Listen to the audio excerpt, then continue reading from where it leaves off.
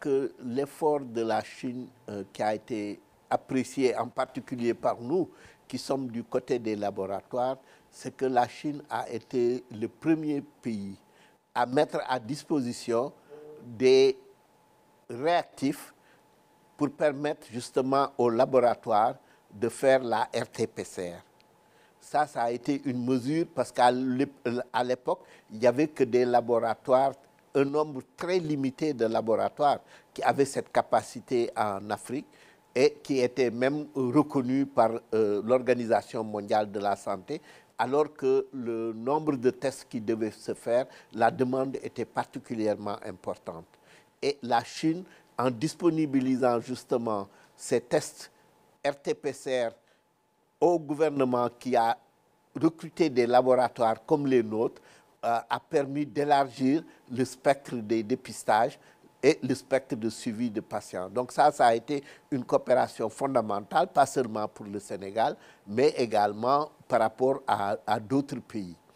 Euh, donc l'autre coopération euh, importante, c'est également tout ce qui est EPU, euh, les équipements de protection individuelle, qui ont également accompagné ces premiers dons parce qu'à l'époque, l'approvisionnement de ces EPU posait énormément de difficultés parce qu'on n'en trouvait pas dans, le marché, aussi bien les EPU que les masques, que toutes les mesures de précaution nécessaires.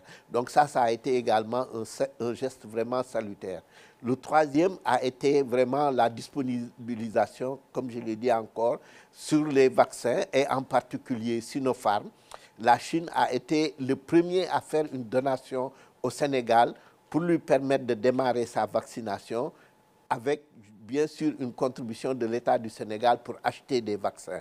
Donc ça, c'est vraiment euh, quelque chose d'extraordinaire. Mais ça, c'est la partie visible.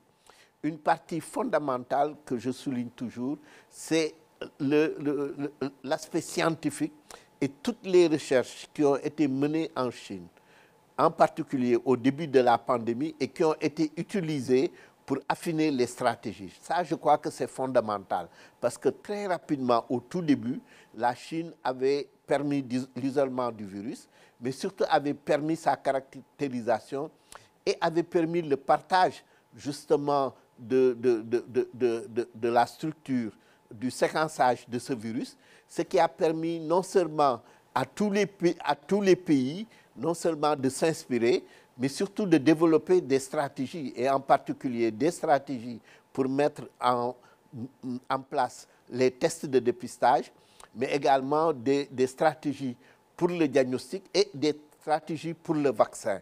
Et ça, je crois que c'est fondamental. En tout cas, il faut louer cette contribution au plan scientifique de la Chine qui a permis d'aller très très vite. Je crois qu'on a fait des progrès extraordinaires qu'on n'a jamais réalisés en matière de dépistage, de tests de dépistage et de tests euh, de Covid, mais surtout en matière de vaccins. Et ça, c'est vraiment grâce à la contribution des connaissances qui ont été acquises rapidement au niveau des souches isolées en Chine et qui ont été partagées dans le monde. Et pour cela, vraiment, je crois qu'il y a une coopération visible. Mais celle-là, en tout cas, nous, les scientifiques, nous en sommes particulièrement reconnaissants parce que nous savons que c'est ça qui permet et qui a permis les progrès que nous observons aujourd'hui.